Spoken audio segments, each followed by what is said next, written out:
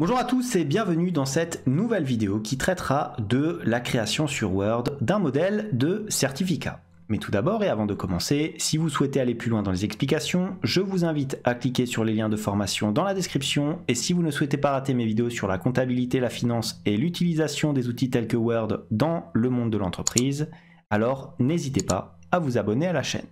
Alors pour créer un certificat ou un modèle de certificat sur Word, vous allez voir c'est relativement simple, il suffit de savoir gérer les formes de votre document. Donc déjà pour commencer, qu'est-ce qu'on va faire? Par défaut sur Word, vous avez bien entendu votre page qui est en format comme ceci, portrait. On va changer et on va mettre un format paysage. Donc pour cela, on va aller dans l'onglet ici de mise en page, on va cliquer sur orientation et on applique un format paysage comme ceci. Un petit peu euh, de chargement, voilà. Et regardez, vous avez maintenant votre page en format paysage. Ensuite, qu'est-ce que je vous propose de faire? Je vous propose d'aller ici dans l'onglet d'insertion et regardez, vous cliquez ici sur vos bordures, donc sur la petite flèche, vous allez tout en bas dans bordure et trame, comme ceci, une nouvelle fenêtre apparaît.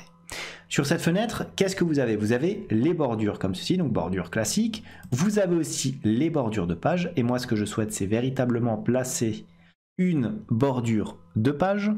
Donc pour cela, je souhaite que cela encadre l'entièreté de ma zone. Donc je vais aller sur encadrement comme ceci. Je vais augmenter éventuellement la largeur du trait. Donc là, je suis sur du 2 1 quart. C'est ce qu'on va prendre. Et regardez, hein, vous avez la possibilité de l'appliquer soit à tout le document, soit à une section, soit ainsi de suite.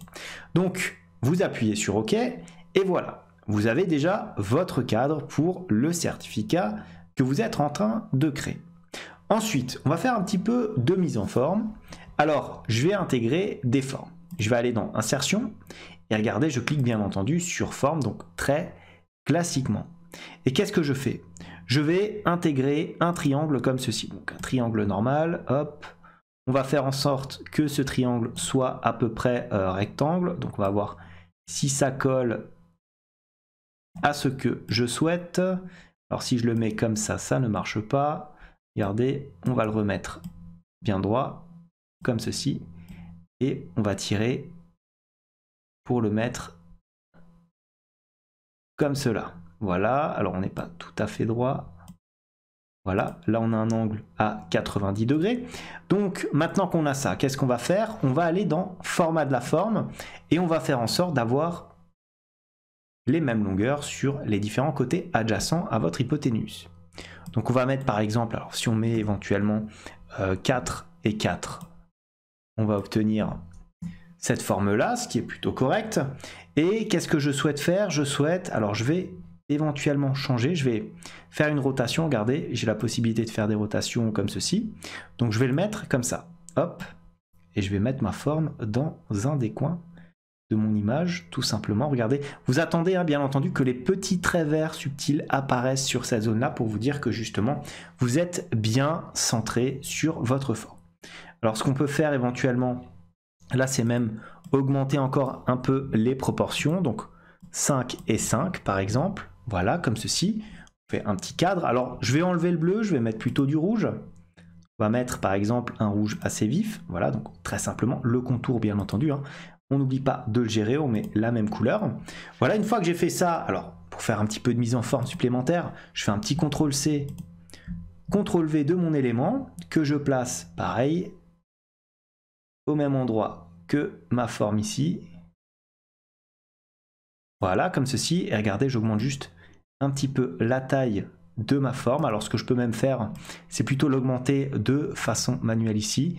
Donc on va mettre par exemple euh, du 7. On va voir à peu près jusqu'à où ça va aller.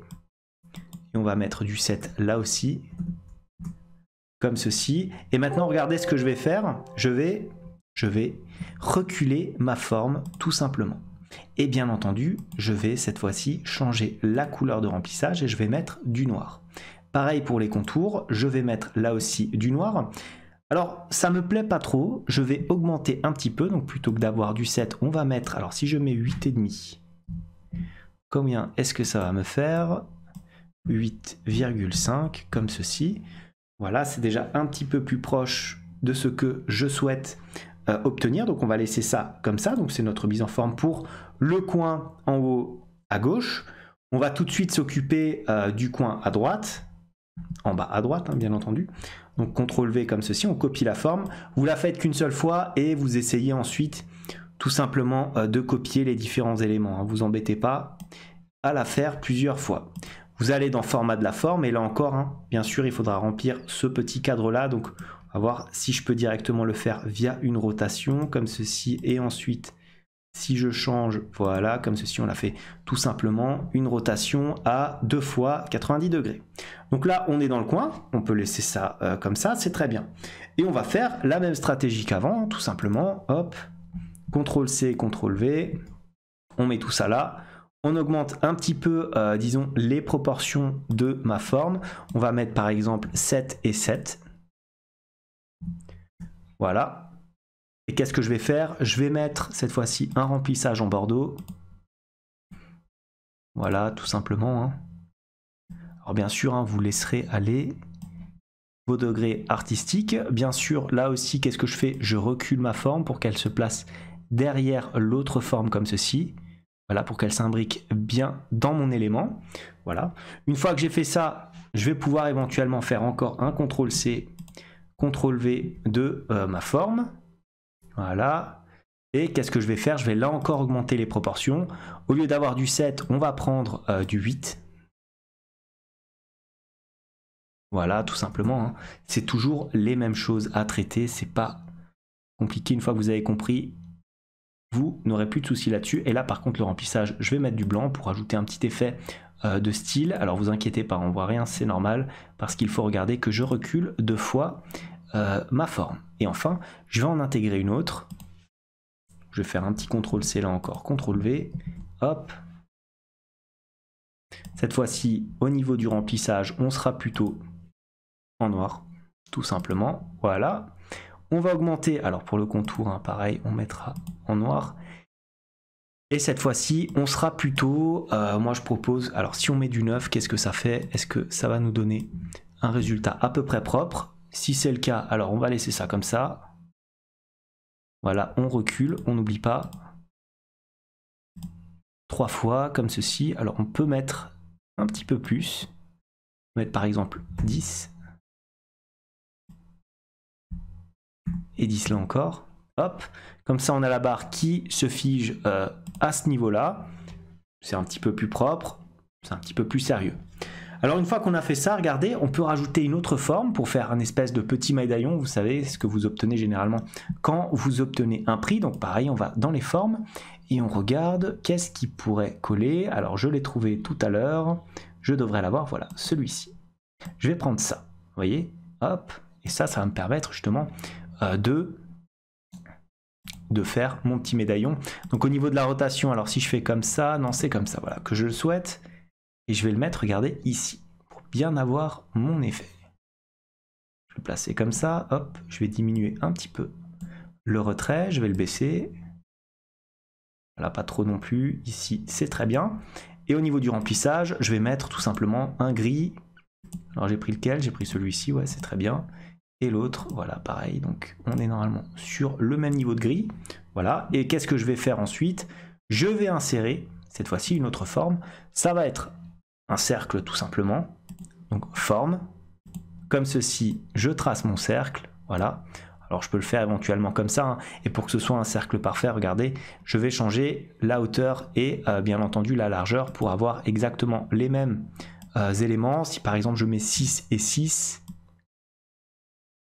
combien vais-je avoir? Alors est-ce que ça va faire plutôt bien? Ouais, ça a l'air d'être à peu près correct, donc on peut le mettre là, comme ceci, bien au centre de mon élément. Voilà, alors je peux y aller éventuellement avec les flèches hein, pour être un petit peu plus précis. Voilà, on est au centre. Ensuite, qu'est-ce qu'on fait? Là, on peut retravailler, bien entendu. Alors, je vais le monter un petit peu. Hop, voilà.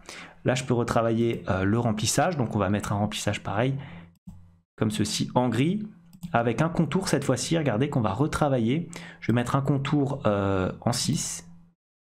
Et, en couleur, je vais mettre cette couleur-là, qui est relativement euh, propre, je fais un clic droit sur ma forme afin d'ajouter du texte comme ceci. Je vais mettre tout simplement l'année euh, du certificat. Alors, remarquez que c'est une police un petit peu petite, mais c'est pas grave. On va mettre déjà tout ça en gras et bien sûr, on augmente la taille de la police comme on a l'habitude de faire. Alors là, c'est un petit peu trop grand.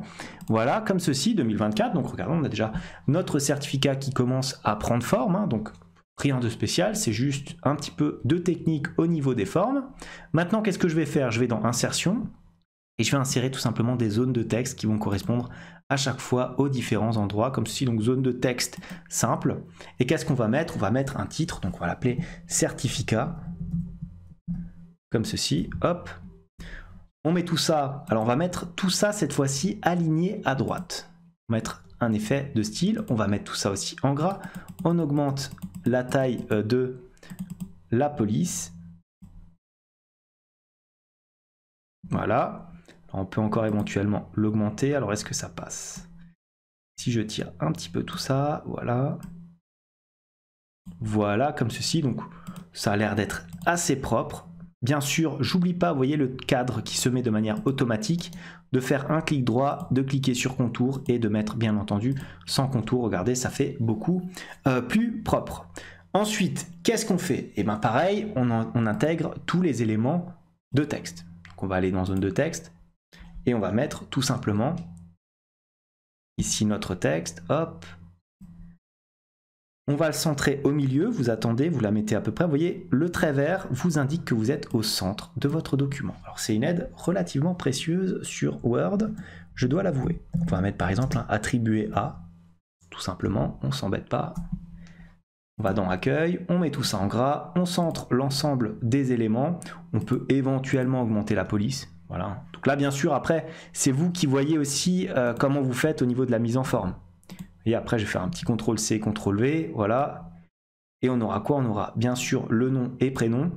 On n'oublie pas à chaque fois hein, de faire un clic droit sur notre zone de texte et euh, de d'enlever ici les contours, de sélectionner sans contour.